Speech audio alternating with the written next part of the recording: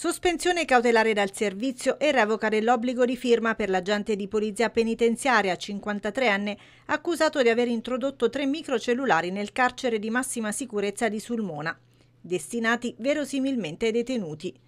Il poliziotto arrestato nell'aprile scorso era stato rimesso in libertà il 5 agosto in attesa dell'udienza in Camera di Consiglio, celebrata nelle ultime ore e poi rinviata per questioni procedurali all'11 gennaio 2024.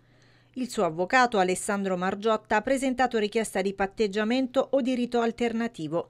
L'inchiesta era scattata il 25 ottobre 2022 quando un detenuto, sorpreso in cella con tre cellulari senza scheda, aggredì cinque agenti mandandoli in ospedale. In quel periodo furono sequestrati una ventina di telefoni in tutta la struttura penitenziaria.